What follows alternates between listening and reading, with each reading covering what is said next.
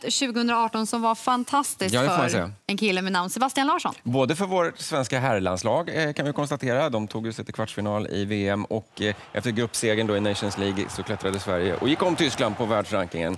Och precis som du sa Maria, för 33-årig mittfältaren Sebastian Larsson så fortsatte ju framgångarna även här hemma. Ja, med ett SM-guld tillsammans med ÖK. God morgon och välkommen! Hej, tack och så mycket. grattis, Ja, grattis. är väl ändå på sin plats får man säga.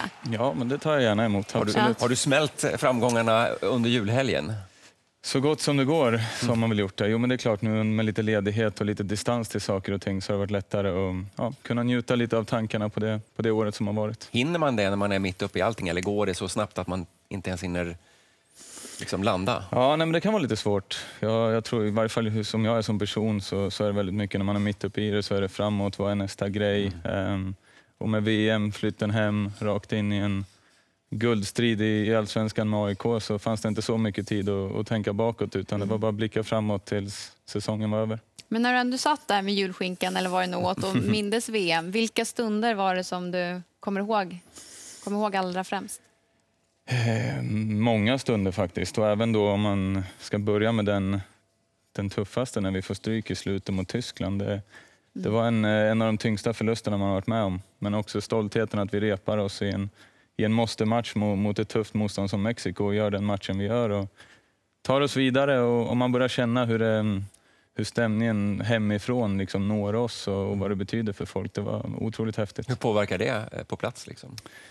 Ja, men det gör ganska mycket, absolut. Jag menar, visst, vi är på ett eh, hotell, en anläggning i, i Ryssland och ganska långt ifrån Sverige, men även om vi hade fast, fantastiskt stöd på plats så, så börjar man nås av den här eh, känslan att eh, man pratar med folk hemma och det media, sociala medier, det, det, går, det liksom undgår inte än idag hur, hur trycket var här hemma och det var, det var häftigt att se. Ja, för här pratar man om semifinal, final började till och med vissa prata om. Mm. Hur var det för er när ändå turneringen tog slut i kvartsfinalen? Ja, som alltid tufft. Det är klart att ehm, så här, vi, vi tittar tillbaka och är nöjda. Vi, vi tog oss till en kvartsfinal i VM, åtta lag kvar. Förmodligen inte många som trodde att vi skulle göra det. Men när det väl tar slut så, så ville vi ett steg till. Vi, vi var en match ifrån ehm, eh, en medaljmatch i ett världsmästerskap och de chanserna växer inte på träd. Så det är klart att det fanns en enorm besvikelse ändå. Ehm, speciellt där och då, men så här med lite distans så, så är vi nog rätt så tillfreds med vad vi, vad vi åstadkom. Jag tänkte på det vi pratade, du säger då, då stödet hemifrån, också krav hemifrån. Vi pratade ju en del om prestationskrav eh, tidigare inom elitidrotten, på elitidrottare. Eh, att man verkligen har kraven på sig att lyckas. Hur, hur, har du känt sådana krav och har det påverkat dig, tycker du? Ja, men det är klart man känner av det och, och det är en del av varför fotbollen är så stor som den är. Den engagerar folk, folk bryr sig. Speciellt om du då går till ett landslag där, där det betyder så mycket för, för ett helt land. Eh, så är det klart att man kan känna att det finns en viss press och krav på att vi ska lyckas. Jag menar, tidigare har jag varit med om mästerskap där, där vi har misslyckats. Och man åker inte hem med någon jätterolig känsla. Man vill gärna hålla sig lite för sig själv och inte vara den som är ute på stan och, och Hur träffa mår folk. du inombords då med den pressen?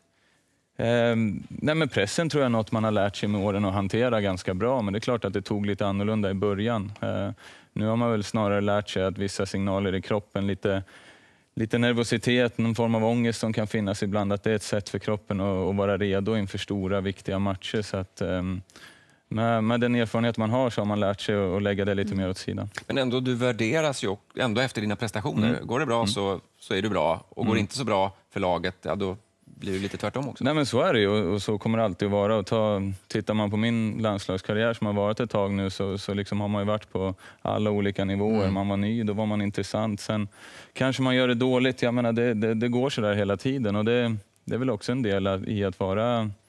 Men Ja. värdet för personen borde väl inte följa med eh, Prestationen. prestationen? Nej, så är det ju. Men samtidigt så, jag menar de personer som känner mig på, personligen, min familj, mina nära och kära och vänner, de, de ändrar sig aldrig hur de är gentemot mig beroende på hur det går på fotbollsplanen. Utan, eh, det, är en, det är en bransch som engagerar, men, men samtidigt som jag sa, det viktiga är ju hur folk som verkligen känner en, hur de behandlar en. Och de, de behandlar inte mig som fotbollsspelaren Sebastian, utan jag, jag är människa oavsett. Och nu kommer du lite närmare de där nära och kära Mm. också. Nu har flyttat hem efter Mm. vadå, 17 år, va? 17 år, ja. Stämmer bra. Hur är det?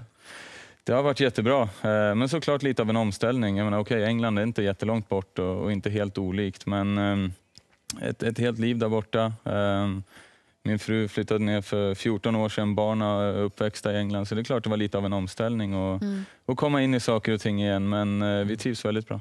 Ja, vad härligt att höra. Mm. Men hur, hur känner du inför det att ditt jobb påverkar inte bara ditt liv utan också var din fru och dina barn Mm. ska leva och bo? Ja, nej så är det ju. Det, det, är väl en, en, det var en stor del i beslutet att börja titta hemåt. Att, att vi kände som familj, det var verkligen ett familjebeslut. Att nu börjar det bli dags. Eh, barnen har, har växt upp där, trivdes jättebra. Men Hur gamla är de? En nio och fyra. Mm. Eh, Så den äldsta då, liksom, vi kände att när vi visste att vi skulle flytta hem så ville vi inte vänta för länge. Eh, Min, min fru var väldigt sugen på att flytta hem och, och få börja med sin karriär på riktigt igen om man säger så. Så att, eh, det är klart att det, fotbollen styr mycket, speciellt man, man är på, nu har jag varit i England nästan hela karriären men olika städer och, och familjen har fått liksom hänga på. Så att eh, nu när vi är hemma är det lite lättare för dem och göra sina saker så får jag stötta så gott Känns det skönt för dig, tänker jag? För att, kan, man, kan du någonstans ha haft ett, något dåligt samvete för att du är i fokus eh, och familjen får stå tillbaka lite? Eller har du... Ja, men visst, i perioder kan det vara så. Och framförallt om man i perioder har känt att man själv kanske inte har trivts hundraprocentigt eller att det har gått lite si och där. Och så, och så tänker man då på familjen att här gör jag något som för tillfället inte är perfekt och så har jag ändå dragit med familjen och de får byta städer och skolor och, och allt vad det är. Så det är klart att det, ibland känns det lite extra. Ja. Och sen så fick du den första lediga julen på Mm. 17 år. Jajamän. Och den har jag njutit av, det kan jag lova. Ingen träning, ingen... Nej, jo, det har fått, fått, funnits med lite träning där. Det, är, nu hade vi haft ganska lång ledighet innan den, så, att, så har man sitt program man ska dra igång med för att snart drar det hela igång igen, en ny säsong och, och, Och nya mycket att leva upp till. Eller? Ja, ja det, det är väl tanken. Självklart med, med, det, med det året vi hade och vann och olika Champions League-kval och grejer som kommer så det ska bli väldigt kul. Du beskrivs ju som en otroligt erfaren eh, spelare med ha- mycket, många vinster på ditt CV. Börjar du känna att karriären snart är över? Nej, faktiskt inte. Ehm, och sen är inte det liksom, betyder inte det att jag kommer spela i, i fem år till, men jag tänker inte riktigt i de banorna och för mig är det något sorts tecken på att eh, så länge man lever i här och nu så, ehm, så finns det mer att ge. Mm. Du har den här tröjan på dig i, till 2020, va? Ja, Ja. absolut. Sitter den bra? Den sitter jättebra, speciellt, speciellt fjolåret så satt den bra. Ja, det förstår jag. Du sätter på dig guldhatten i slutet också. Ja, nej, men det var en otrolig känsla och det är klart att, att få komma hem och, och få vara med och vinna sin första ligatitel. Det, det var fantastiskt kul. Är ni lika taggade, starka i år? Ja, det tror jag verkligen och det, det är såklart det målsättningen och nu är vi regerande mästare och det, det är något annat i sig att hantera. Eh, Så det ser till att vi hanterar det Europakval på ett bra sätt. Vi önskar dig lycka till med den utmaningen och tackar dig för att du kom till Nyhetsmorgon. Tack så mycket. Ha ett fint 2019. Vi pratade lite grann